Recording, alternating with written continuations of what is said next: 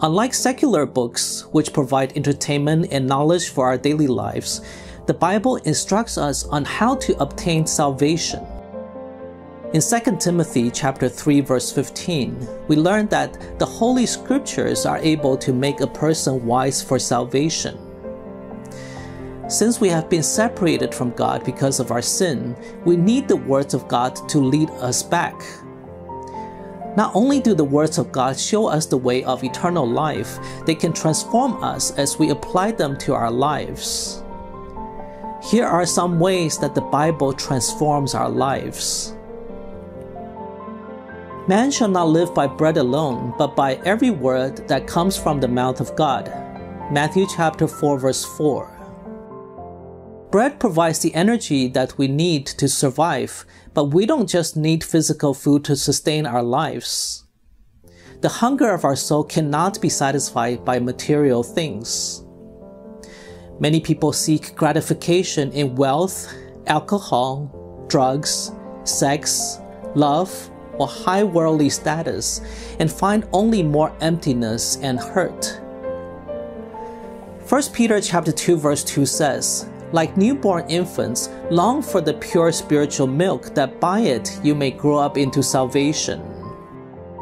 The Bible is the source of spiritual and emotional nourishment that we need, just as a child needs milk to grow. The Bible is life and health to us.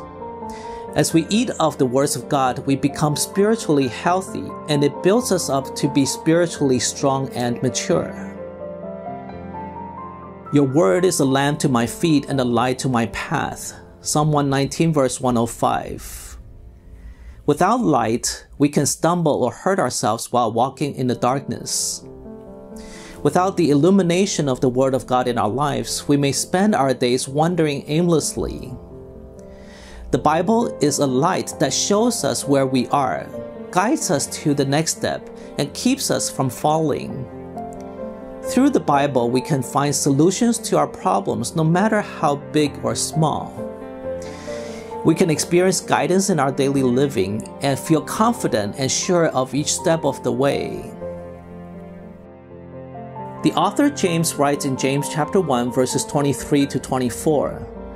For if anyone is a hearer of the word and not a doer, he is like a man who looks intently at his natural face in a mirror. For he looks at himself and goes away, and at once forgets what he was like. The point here is that we shouldn't just know what's right and wrong.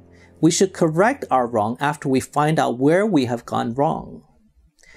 One thing we learn from James's words is that the Bible is like a mirror that shows us who we really are. Sometimes the danger or problem is not in our surroundings but in ourselves. The Bible serves as a mirror that reveals our true condition. It convicts us of our shortcomings so we know when our thinking and choices are wrong. When we see dirt on our face in the mirror, we will wipe off the smudge. In the same way, when the Bible makes bare our shortcomings, then we can take the steps needed to make changes.